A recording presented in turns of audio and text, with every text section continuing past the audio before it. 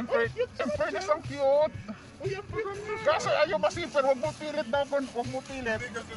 Oo, may may patong pa. Hi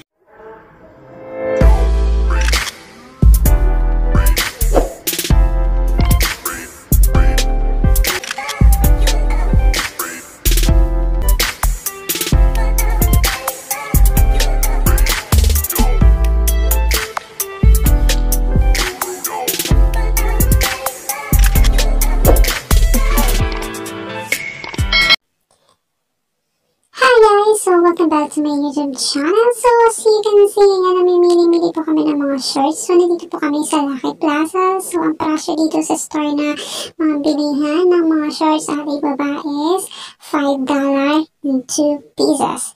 So, mura lang. So, So, samahan niyo po kami. At yun nga pala yung mga OFW dito ay hindi ko po kakilala. So, dalawa lang po kami kanina namimili dito. Then, after one hour ata habang nagtutupi-tupi kami ng mga shorts is bigla po sila dumagsa sa amin kasi nga namin nagpa-music at saka pinatay ko yung, enough ko yung music kasi makaka-pride po tayo. So, ayan nga guys, nagsukat-sukat na po kami ng mga shorts.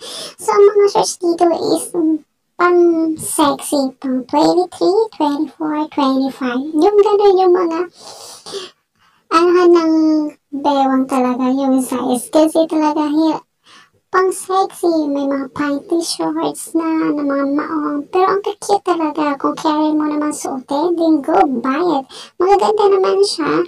Then, ah yung iba naman dyan na mga kasama namin, eh, hindi naman talaga namimili parang review lang kasi nga nag-enjoy kami and have fun ng music na yun na parang nag-serve ka lang yung music niya kasi is like the TikTok. So, make like and have fun together. Eventually kami magkakilala as an OFW dito sa Singapore.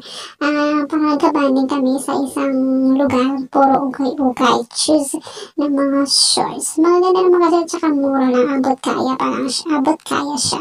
So, if you one of us na mahilig din mga shorts ng maong, punta, pwede kayo dito pumunta sa Lucky Plaza, nasa second floor ito. Ayan. Then, ayan, magaganda siya. Kasi na, may napili din ako ng mga gandang shorts, apat, bali $10.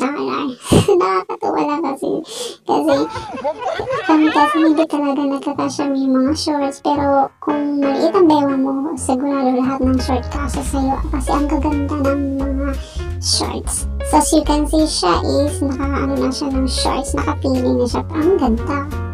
So, nakita niyo na wala, tuwa siya kasi in just 20 minutes siguro bago siya nakahanap ng shirt na magkakasya sa kanya. Sa totoo lang, ala hindi na siya kakain kasi ah, hindi sa dami ba ng mga shorts, isa lang talaga nagkasya sa kanya kaya nakakatuwa. So, ayun nga guys, ay yun lang po ang ating video for today as in ukay-ukay ang Lucky Plaza as an OFW. Yan kasi ang kadalasan ginagawa ng mga OFW pag once off day. Punta sa Lucky Plaza, buy something like uh, mga clothes, mga pabango or damit or mga ano na, mga stuff na uh, mga need mo or pasalubong, nag-iipon.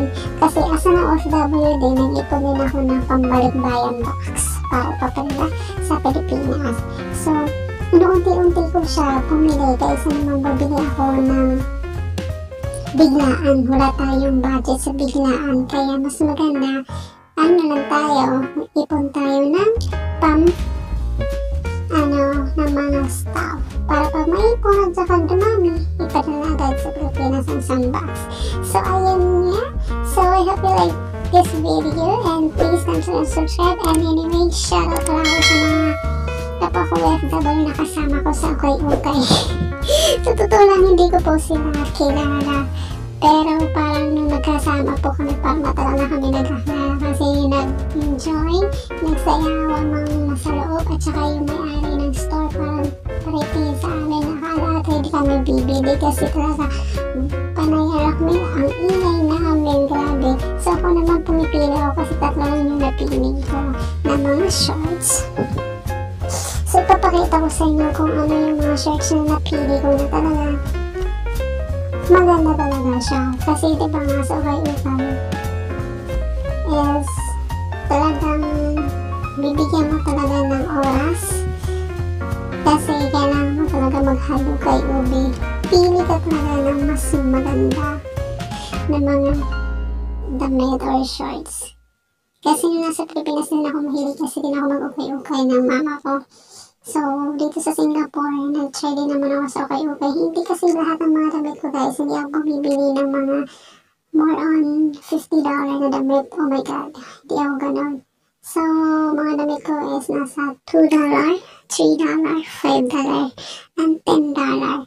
Siguro more on $20 less lang ganun. Hindi na ng 25 ganun. Sapatos siguro pwede.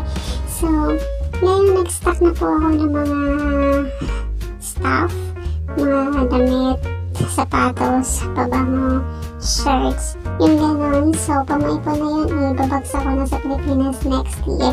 So, hili-hili lang din. And, yun, anyway, mega shoutout pala sa mga babaeng kasama ko dyan. So, kung makita niyo naman itong video, sorry kung ipopost ko kasi Nag-enjoy lang kasi ako panoorin. Kaya, ayan, mega mega mega shoutout sa ah, four ladies na nakasama ko sa Lucky Plaza. So then, if you like this video guys, keep me thumbs up and subscribe. And don't forget to hit the bell button para lagi kayo updated sa aking walang kwentang YouTube channel. And see you guys next video. Bye for now guys. Bye bye. And have a good day and God bless.